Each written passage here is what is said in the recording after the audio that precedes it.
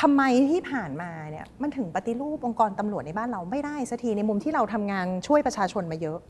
สวยมันมีมานานแล้วครับมันกำจัดไม่ได้สักทีนะครับเพราะว่าอย่างแรกคือสังคมไม่ตื่นตัว แล้วก็ทุกคนพูดกันหมดว่ามีสวย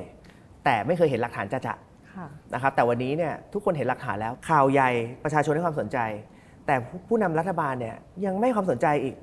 นะครับจริงๆเนี่ยถ้าเกิดว่าท่านนายกนะถือจังหวะนี้นะครับผ่าตัดสำนักงานแห่งชาติได้นะแล้วก็ กำจัดสวยให้หมดไป รัฐบาลนี้จะเป็นรัฐบาลแรกที่ทำได้เลยนะแต่แต่ไม่ให้ความสำคัญก็จบกัน แล้วถ้าฝ่ายค้านเขาให้ความสำคัญขึ้นมาล่ะ ยินดีเลยครับ ผมเชื่อว่าความใส่ใจของประชาชนกับทางฝ่ายค้านเนี่ยอาจจะมีมากกว่านายกอีกนะ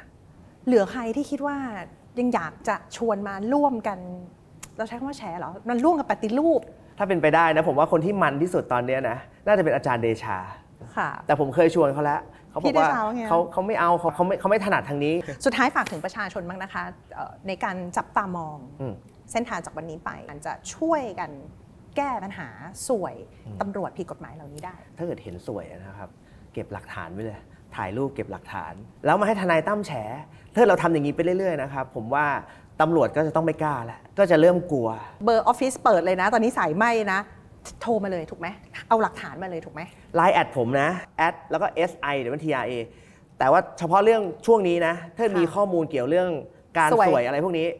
ส่งมาเลยครับ ผมขอพร้อมหลักฐานนะ ไม่ใช่คำเล่าอย่างเดียวอะๆไม่รู้จะไปหาใคร ไม่รู้ใครเป็นพวกกับใครอืมมาหาทนายประชาชมาหาทนายตั้มบ่อยๆ ครั้งในวงการตำรวจว่าถ้าหัวไม่ส่ายเนี่ยหางไม่กระดิก อันนี้เราหวังว่าหางจะไม่กระดิกเพราะกลัว แต่ถ้าหัวยังสายอยู่อะมันก็